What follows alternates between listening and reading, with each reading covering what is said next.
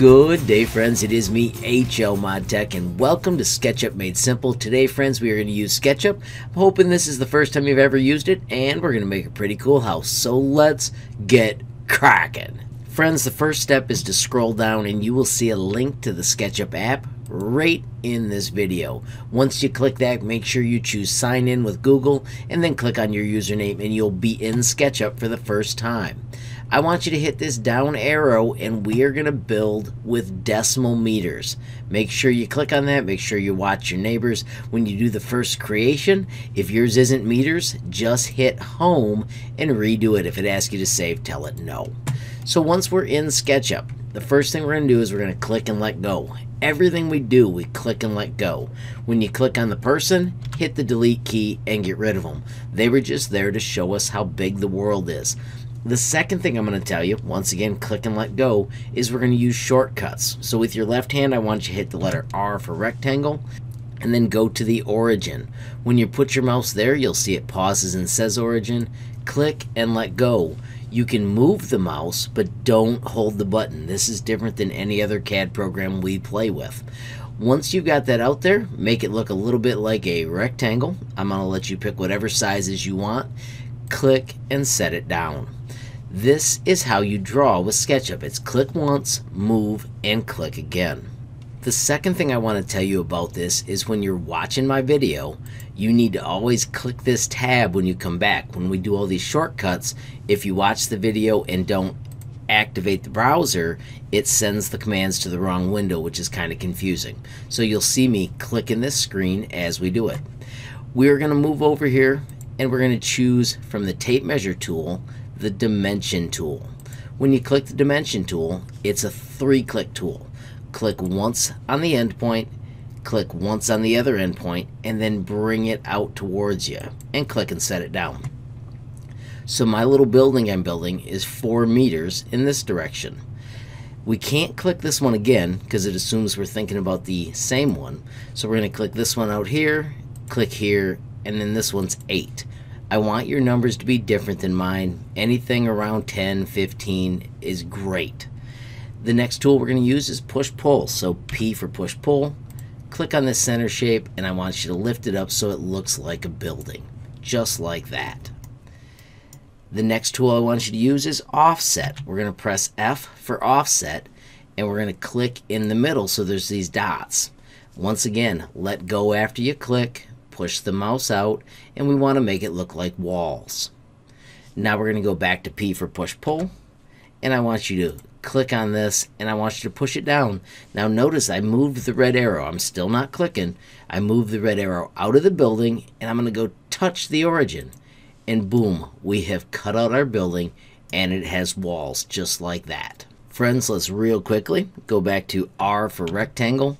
Notice you do have to click that tab to make sure you get it find the midpoint. So I'm just moving, I'm not clicking. See how it turns teal? That's the midpoint, and you can just draw a door. Once you've got that clicked in, I'm going to hit O for orbit, and I want to look at it from a corner. This time I am dragging, and I'm going to hit P for push pull. And notice it hovers and shows you which you're selecting. We want to select the door. Remember that little red arrow? We want to go touch the inside edge or the inside corner so that it cuts our doorway out, just like that. Let's quickly make sure we click our tab, hit O for orbit, look at it from this side, R for rectangle, and let's draw a window over here. Once again, after you draw it, O for orbit, P for push pull, push, and we want to touch that wall to cut out a window. Let's add a window on this side, but on this side, let's do C for circle, click where you want to start the circle, click again where you want to finish it, spacebar, select the middle this time, that's another nice trick, P for push pull, and once again when we push it, we want to find an endpoint on the inside, not the outside, the inside of the wall. Now SketchUp all works in the cloud, but you do need to hit save. When you hit save, we're going to hit SketchUp, and we're going to call this Funhouse. It takes a moment to save, and boom, your project is looking pretty darn sweet. Let's click our tab, hit the space bar, grab everything we've built so it'll turn all blue and I want you to right click on it and I want you to make it a group so that'll all be together. Now the next piece we draw is not going to be connected. So I'm going to click down here on the ground. I want you to spot this blue line. I want you to press the letter L for line and go along the front of your building and find where it says midpoint of the group. And then I want you to lift up, notice it's black or it's blue. We want on the blue axis a line and then we want to connect that all the way across.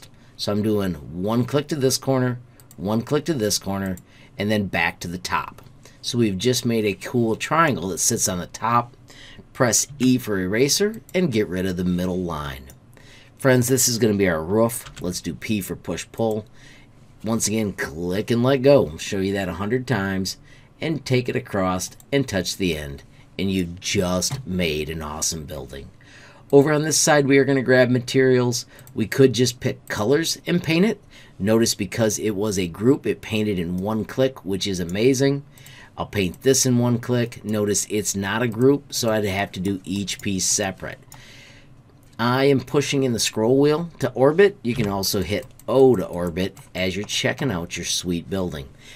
Paint is not the only thing we've got though. Watch this, friends. If you go to the Browse tool, we can find brick cladding and siding.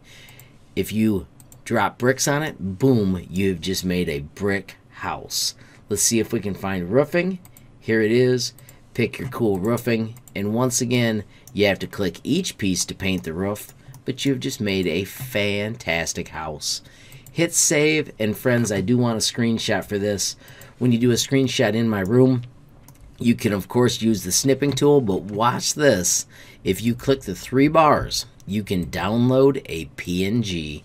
So right in here, you can zoom, adjust. If you hit H, you can use the hand to move it where you want. Go back to O for orbit, find a cool screenshot, and then simply choose export as PNG. I'm going to say don't show again, hit export, and then make sure you put it in your downloads folder which in my classroom probably should happen automatically. Friends, make sure you hit file save so you don't lose your work. I hope you had a fantastic time with this lesson. And of course, friends, if you enjoyed the video, please give it a like. Even hit that share button so more people can learn about SketchUp Made Simple. If you got a question, comment, or a suggestion, add it down below. And if you haven't subscribed yet, what are you waiting for? Smash that subscribe button. And last but not least, hit that notification bell if you want to be the first to know when there's a brand new video from me, HL Mod Tech. Thanks for watching. Have a great day.